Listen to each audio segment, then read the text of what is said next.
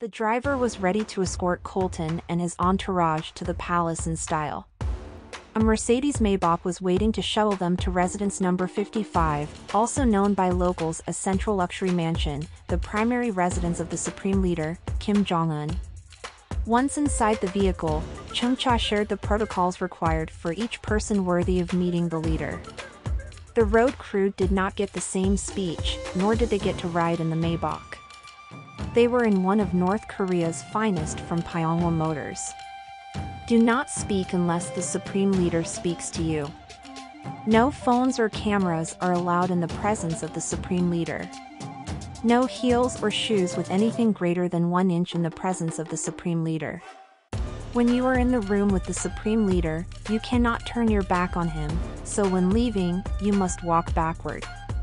When they arrived at the palace, they were greeted by North Korea's cheerleaders, 200 young girls who've been handpicked based on specific stringent physical requirements, taller than 5 foot 3 inches, round face, large eyes, and clear, high voices. Kim Jong-un's wife was once a cheerleader. Kaya reminded Colton not to try to speak to the girls, you would be risking their lives if they talked to you.